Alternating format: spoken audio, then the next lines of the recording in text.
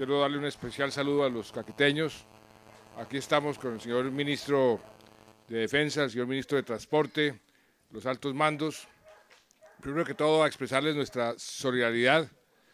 Este ataque terrorista, una vez más, demuestra la situación en que se encuentra este grupo terrorista. Nadie puede justificar que vuelen un puente como el que acabamos de ver. ¿A quién beneficia eso? A nadie. ¿A quién perjudica? A toda la gente de esta región, especialmente a los campesinos, a todos los que utilizan el puente. Este ataque terrorista, como todos los ataques terroristas que hemos visto en los últimos meses, lo que buscan es desesperar a la gente, pero no tienen ninguna eh, ventaja militar, no tienen ninguna explicación y por eso todos tenemos que condenar en forma tajante y contundente ataques como los que tuvimos hace 48 horas aquí en el Riecito, en esta vía entre eh, San Vicente Caguán y Doncello. Quiero decirles que además venimos aquí a responder rápidamente para que la comunidad eh, sufra lo menos posible. Ya Invías está haciendo una obra que va a permitir que en dos días la carga pesada a 200 metros de aquí pueda pasar, pasar por encima del, del, eh, del río, del riecito. Y ya están, ustedes vieron eh, las primeras tractomulas con el puente militar. El eh, coronel Cepeda, que está aquí con nosotros, que es el comandante del batallón de ingenieros, ya tiene en proceso la construcción del puente militar, un puente que inclusive va a quedar en forma transitoria, pero va a quedar más fuerte que el puente que volaron los terroristas. Y ese puente debe estar listo en unos 15 días.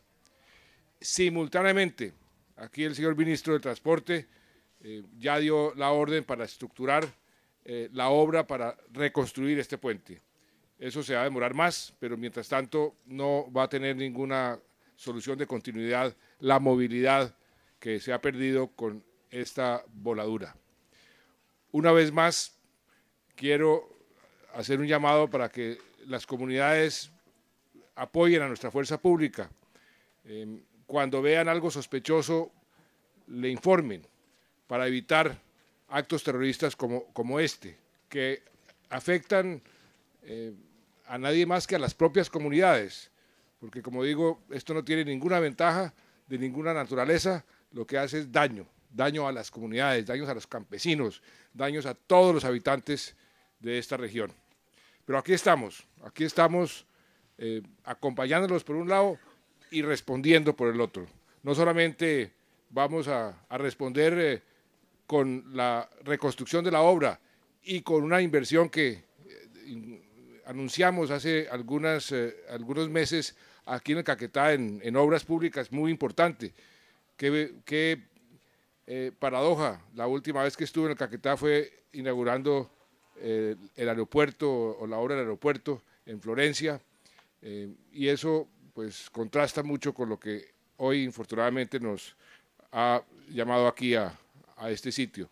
Pero el mensaje es, seguimos para adelante, seguimos para adelante, esto se va a resolver rápidamente, ya nuestros militares están construyendo el puente, nuestros funcionarios de Invías están construyendo la variante y el puente definitivo también ya comienza desde, desde ahora a estructurarse para que eh, se pueda construir y quedemos inclusive mejor de lo que estábamos antes.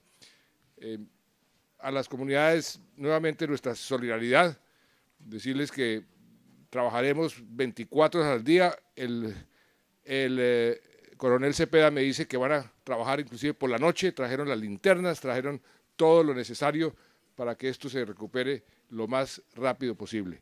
Y se va a recuperar, se va a recuperar, se va a reconstruir, de manera que queremos que ustedes sufran lo menos posible este, este inconveniente en la movilidad.